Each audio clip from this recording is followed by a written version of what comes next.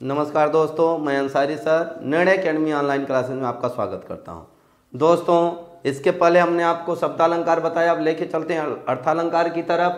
आपसे ज़्यादा से ज़्यादा एग्ज़ाम में प्रश्न उपमा रूपक उत्प्रेक्षा से पूछता है। इसके साथ ही साथ मैं अपहनूत भी ले लिया हूँ, क्योंकि सीटीटी में ऐसे भी जगह से भी प्रश्न आते हैं। तो आइए ज़रा ध्यान से सुने। कि हम शॉर्टकट तरीके में कैसे कोई भी उदाहरण दिया हो, हम कैसे पहचाने कि उपमा है, रूपक है, कि अपहनुति है, कि उत्प्रेक्षा है। तो ध्यान दीजिएगा दोस्तों, जब भी कोई ऐसा उदाहरण आए जिसमें जनु जानो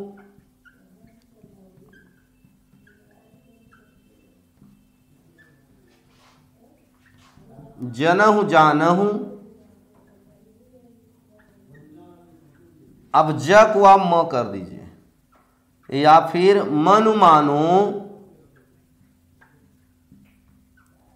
मनहु मानहु, अगर आया हो तो वहाँ कौन सा अलंकार होगा?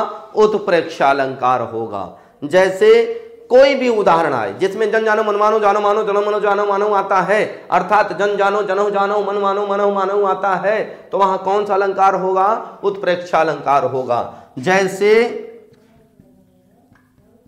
मानो मुख चंद्र सा सुंदर है।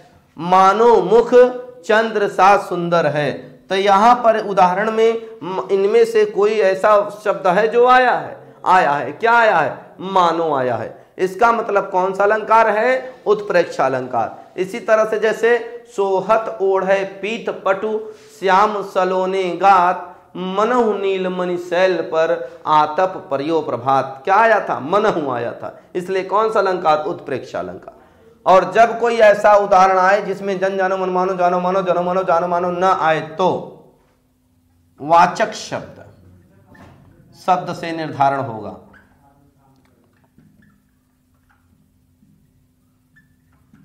वाचक शब्द।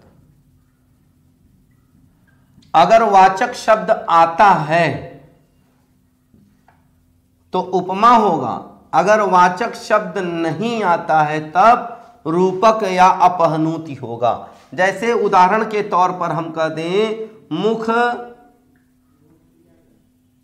चंद्र सा सुंदर है।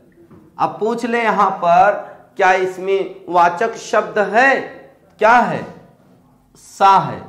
इसका मतलब तब रूपक या अपहनुत नहीं होगा। दूसरी चीज़, उत्प्रेक्षा भी नहीं होगा, क्योंकि जनु जानो, जनहु जानहु, मन मानो, मनहु मानहु नहीं आया है। इसलिए उत्प्रेक्षा नहीं होगा और वाचक शब्द आया है, इसलिए उपमा होगा, रूपक या अपहनुत नहीं होगा। और उदाहरण देख लें, आपके बीच में हम रख देते हैं।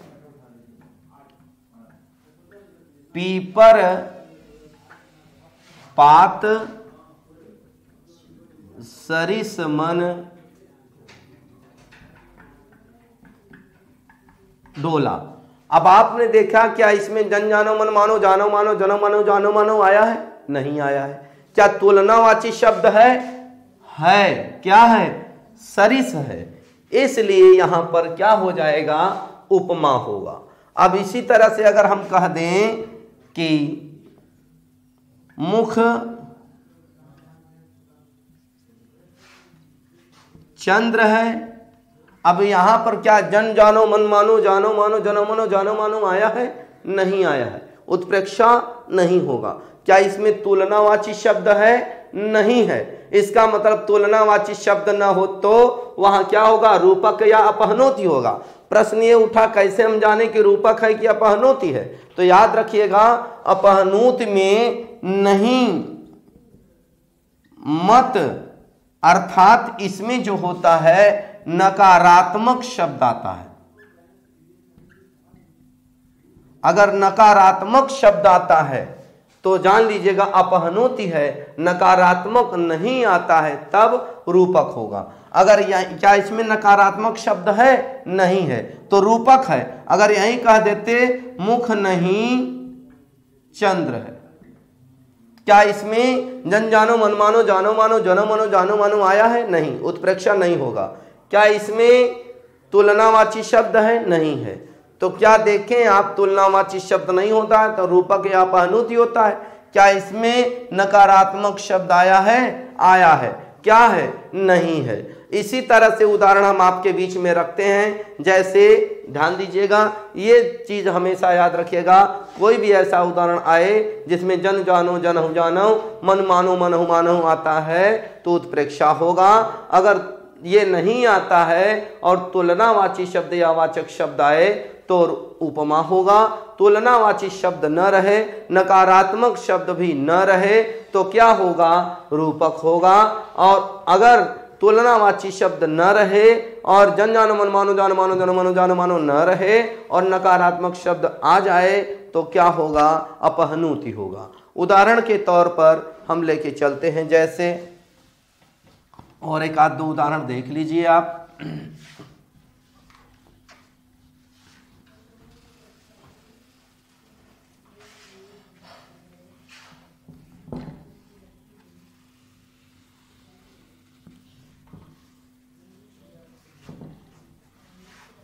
अब एक एक के बारे में बताते हैं तो अपने आप उदाहरण समझ में आ जाएगा। चलिए देखिए जरा सा। ध्यान दीजिए। पहला अलंकार, उपमा अलंकार। परिभाषा क्या है? जब उपमेय की तुलना उपमान से की जाए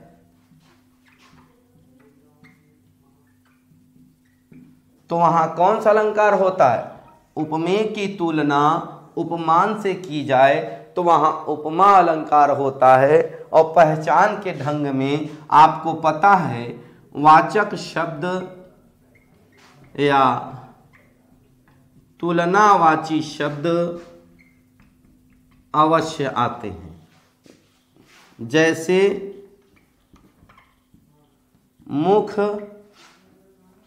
चंद्र सा सुंदर है। अब आपने देखा, जन जानो मन मानो, जानो मानो, जनो मानो, जानो मानो नहीं आया है, उत्प्रेक्षा नहीं होगा। और इसमें तुलनावाची शब्द आने के कारण यहाँ रूपक भी या अपहनुत भी नहीं होगा। तब क्या है यहाँ पर? उपमा है। दूसरा उदाहरण देख लें आप। दिवसावसान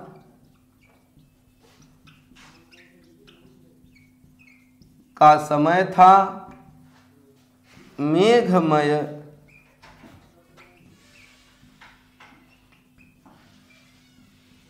आसमान से उतर रही।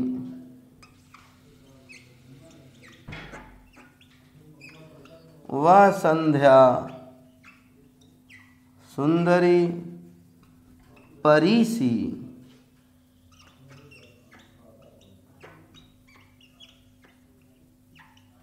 धीरे धीरे। आपने देखा, क्या इस उदाहरण में जन जानो मन मानो जानो मानो, जनो मानो, जानो मानो आया है? नहीं आया है। क्या इसमें तुलनावाची शब्द है? है।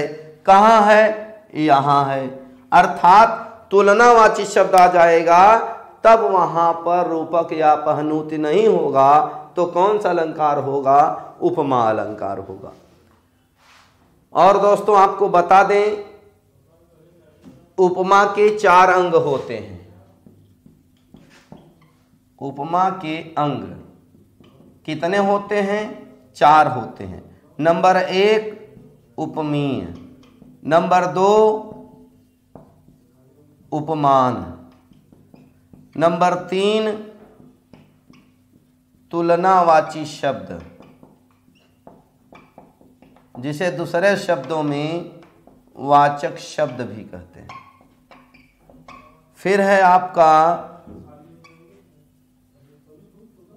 साधारण धर्म। इसे गुण भी कहते हैं, साधारण धर्म या गुण। सा, उपमेय मतलब जिसकी तुलना की जाए, उपमान मतलब जिससे की जाए, और तुलनावाची शब्द का मतलब जो तो तुलनावाची शब्द होता है, और साधारण धर्म मतलब होता है, अंग्रेज़ी में इसे कह सकते हैं सेम क्वालिटी सेम क्वालिटी का अर्थ होता है जिसके आधार पर तुलना की जा रही है। तो आप देखें किसकी तुलना की जा रही मुख की। तो ये उपमेय किससे की जा रही है? चंद्रमा से। तो ये उपमान है। तुलनावाची शब्द कौन सा है? सा है। और कौन सी ऐसी क्वालिटी है जिसके आधार पर दोनों में तुलना कराई जा रही है? तो सुंदर के आधार पर। इसलिए यहाँ सुंदर क्या है? सुंदर यहाँ पर साधारण धर्म है, या सेम क्वालिटी है, जिसके आधार पर दोनों में तुलना की जा रही है।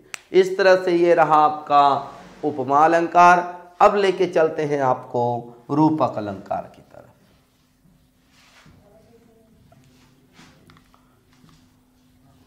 लेकिन उसके पहले एक अलंकार थोड़ा सा और जान लें आप। प्रतीप अलंकार, नाम से अर्थ स्पष्ट है।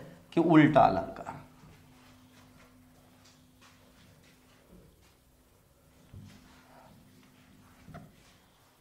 नेक्स्ट अलंकार है प्रतीप अलंकार। इसमें क्या होता है? प्रतीप का अर्थ होता है उल्टा। यह अलंकार जो होता है, उपमा का ठीक उल्टा होता है। जैसे छंदों में दोहे छंद का ठीक उल्टा सोरठा होता है, वैसे ही उपमा अलंकार का ठीक उल्टा प्रतीप अलंकार होता है। इसके बाद दोस्तों, आगे लेके चलते हैं हम। प्रतीप अलंकार होता कहाँ है? जब उपमान की तुलना मतलब उपमेय को उपमान उपमान को उपमेय बनाकर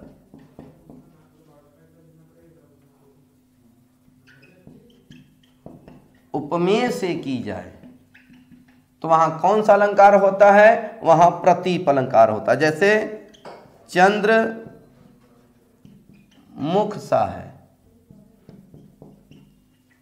यहाँ ये उपमान था, लेकिन क्या बना दिया गया? उपमेय बना दिया गया। आइए जरा देख लें। दूसरा उदाहरण। उसी तपस्वी से लंबे थे। देवदारू दो चार खड़े थे। आपने देखा क्या? उसी तपस्वी से लंबे थे, देवदारू दो चार खड़े थे। आप जानते हैं कि तपस्वी की लंबाई ज़्यादा से ज़्यादा पाँच सात फीट की होगी। लेकिन देवदार वृक्ष की लंबाई लगभग सौ फीट की होगी। अब आपको ऐसे ही लगेगा कि क्वालिटी में श्रेष्ठ कौन सा है? देवदारू है।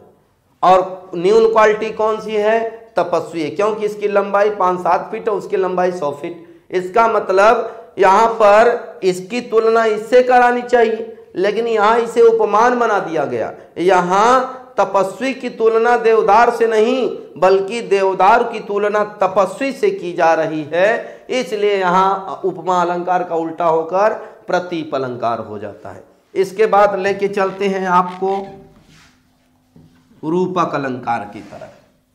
परिभाषा बहुत पूछता है दोस्तों, जरा ध्यान में रखिएगा इनकी परिभाषा को। रूपक अलंकार।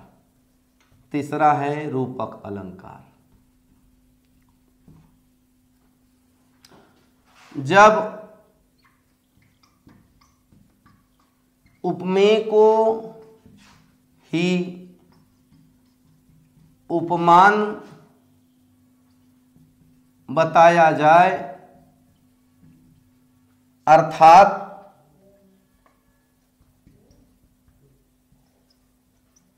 उपमेय में उपमान का भेद रहित आरोप। हो जब उपमेय को ही उपमान कहा जाए, अर्थात उपमेय उपमान में अंतर न किया जाए, वही मान लिया जाए, वही कहा जाए तो कौन सा अलंकार होता है? रूपक अलंकार होता है। जैसे मुख चंद्र है। अब यहाँ पे मुख को क्या बताया? मुख मुख नहीं, मुख को चंद्र बताया जा रहा है। वही मान लिया जा रहा है। इसमें देखें आप, जन जानो मनमानो जानो मानो, जनो मानो, जानो मानो नहीं आया है। क्या इसमें तुलनावाची शब्द है नहीं है? तो कौन सा अलंकार है? रूपक है, क्योंकि इसमें नकारात्मक शब्द नहीं आए हैं। दूसरा उदाहरण देख लें। बीती विभावरी जागरी,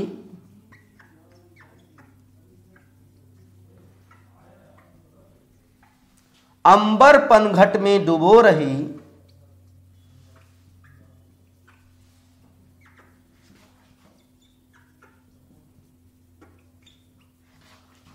तारा घट उषा नागरी।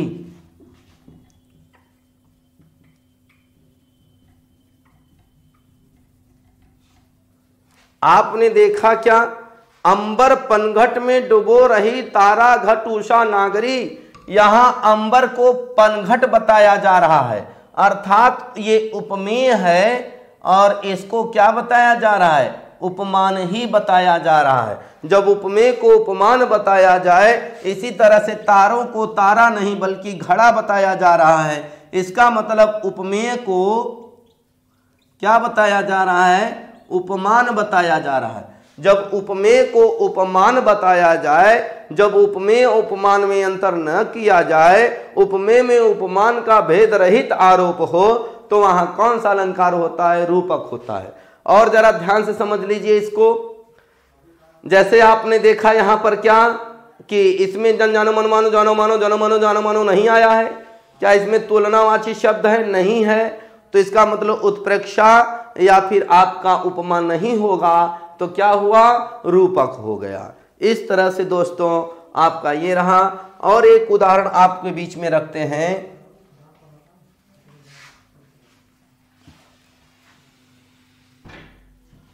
बहुत प्यारा उदाहरण है। तीसरा, चरण कमल बंदौ हरिराई आप जरा इसी पर ध्यान दें। क्या इसमें जन जानो मन मानो, जानो मानो, जनो मानो, जानो मानो आया है? नहीं। उत्प्रेक्षा नहीं होगा। क्या तुलनावाची शब्द है? नहीं है। तुर उपमा भी नहीं होगा। क्या नकारात्मक शब्द है? नहीं है। क्या अपहनोति होगा नहीं होगा। बल्कि चरण को यहाँ कमल ही मान लिया जा रहा है। चरण को कमल ही कहा जा रहा है। चरण रूपी कमल कहा जा रहा है। इसलिए कभी एग्ज़ाम में पूछे, रूपी से अर्थ किस अलंकार में निकलता है? तो रूपक में निकलता है। चरण रूपी कमल, अंबर रूपी पनघट तारे रूपी घड़े, मुख रूपी चंद्र, यहाँ पे कौन सा अलंकार है? यहाँ पर रूपक अलंकार है। तो आगे चलते हैं दोस्तों अब नेक्स्ट अलंकार की तरफ़।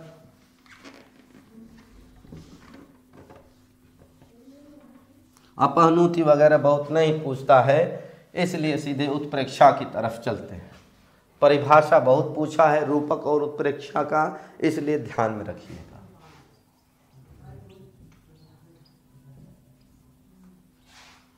उत्प्रेक्षालंकार। प्रश्न ये उठता है, उत्प्रेक्षालंकार की परिभाषा क्या है? तो ध्यान से सुनिएगा, जब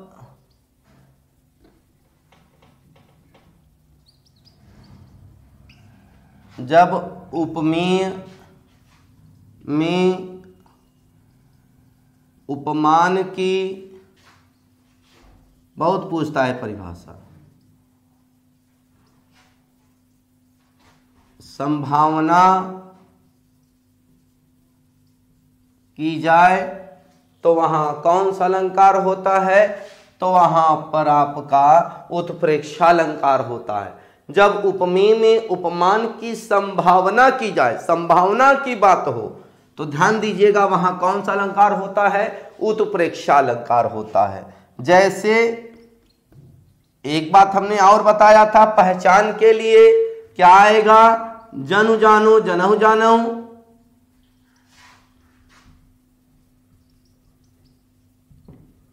आदि आदि आदि। हमने बता भी दिया है, बताने बहुत ज़रूरत नहीं, आप समझ जाएँगे जैसे,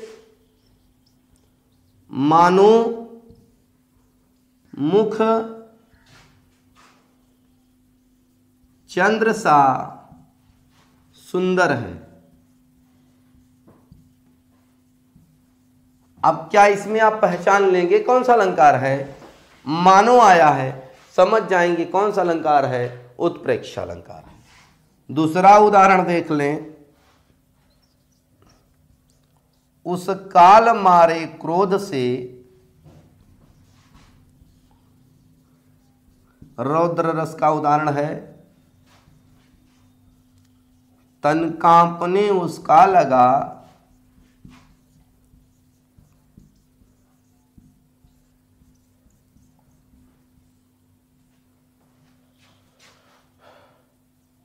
मानो हवा की ज़ोर से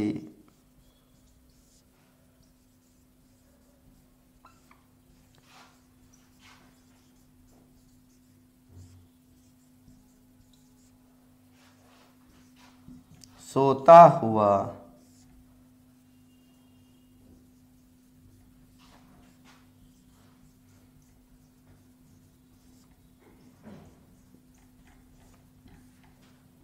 सागर जगह। आपने देखा क्या कि उदाहरण दिया है, क्या इसमें जन जन मन मानो, जानो मानो जानो मानो जानो मानो आया है? मानो आया है। कौन सा अलंकार होगा? उत्प्रेक्षा होगा। इसी तरह से सोहत ओढ़े पीत पटु, श्याम सलोने गात, मनहु मनहु आ गया। कौन सा अलंकार है? उत्प्रेक्षा अलंकार है। वाम अंग शिव शोभित, शिवा उदार। शरद सुवारित में जन, जनु आया है। कौन सा अलंकार? उत्प्रेक्षा अलंकार है। तो इस तरह से उत्प्रेक्षा भी हुआ। नेक्स्ट अलंकार है अतिशयोक्ति अलंकार। अतिशयोक्ति शब्द वर्तनी में भी बहुत पूछता है। ध्यान दीजिएगा। अतिशयोक्ति अलंकार।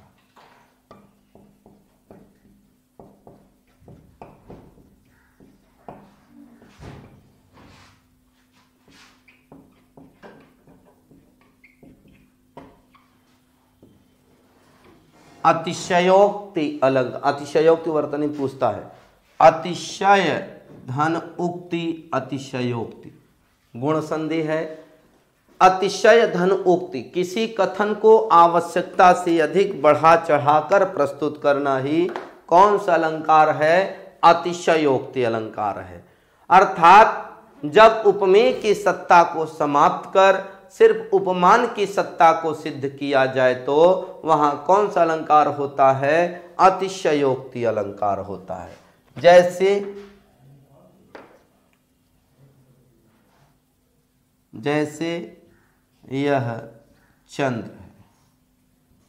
उपमेय की सत्ता समाप्त कर दी गई। क्या बता दिया जा रहा है? सिर्फ़ उपमान की सत्ता बताई जा रही है। कौन सा अलंकार है? अतिशयोक्ति अलंकार है। जैसे पानी परात को हाथ छुयो नहीं। नयनन के जल से पग धोय।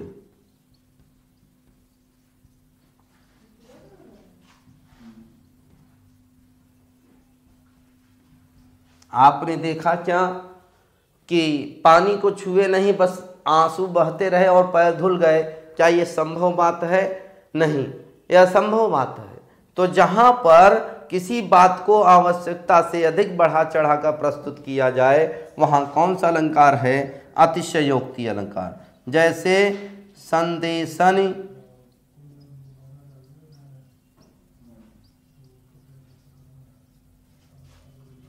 मधुवन।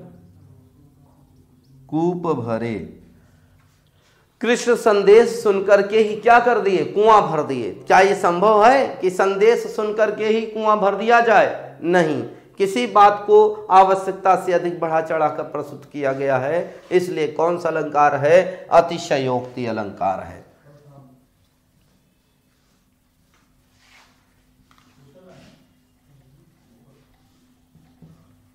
इसके बाद आपका अलंकार आता है विरोधाभास।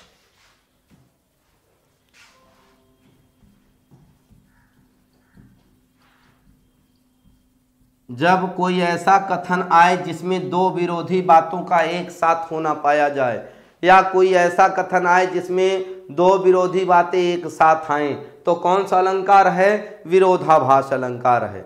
जैसे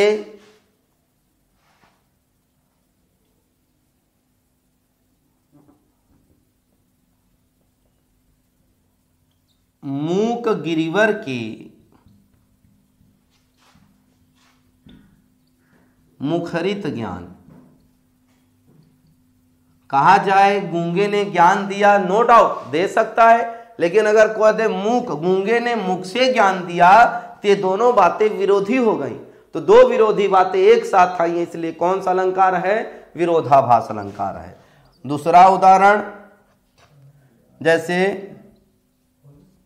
वह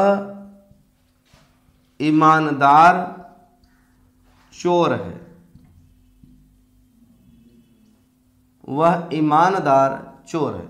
नो डाउट ईमानदार हो सकता है या चोर हो सकता है, लेकिन अगर दिया जाए ईमानदार चोर, ये दो विरोधी बातें एक साथ आई हैं। इसलिए कौन सा अलंकार है विरोधाभास, जिसे अंग्रेज़ी में आगजी मोरन कहते हैं? इसके बाद दोस्तों, लेके चलते हैं आपको भ्रांतिमान अलंकार।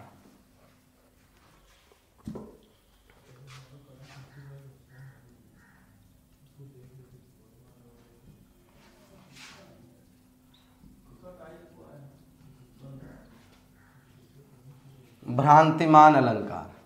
भ्रांतिमान अलंकार में होता क्या है? जब होता क्या है इसमें? जब समानता के कारण।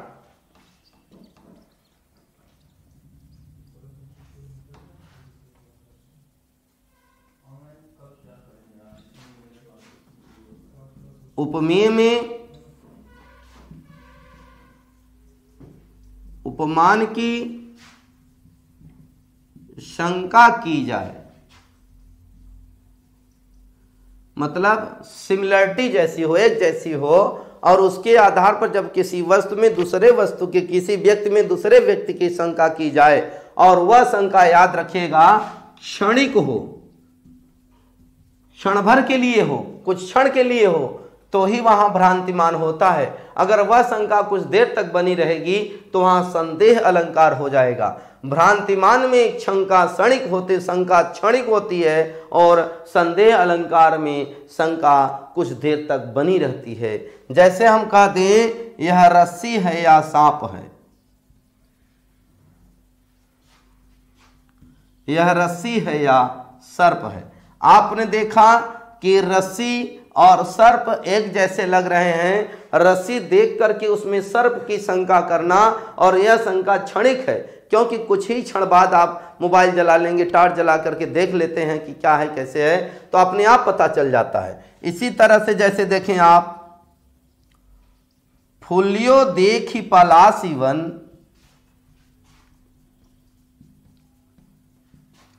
समूह समुझ दवाग।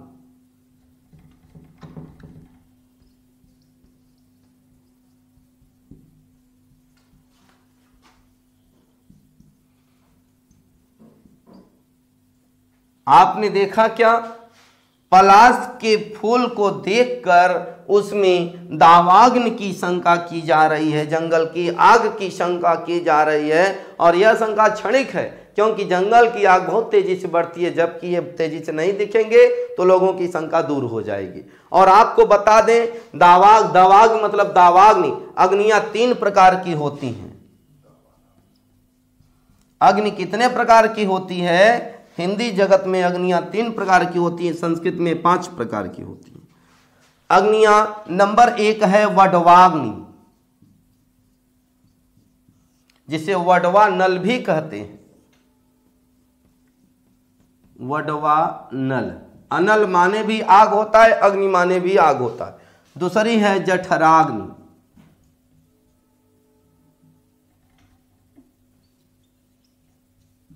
जिसे जठरा नल भी कहते हैं।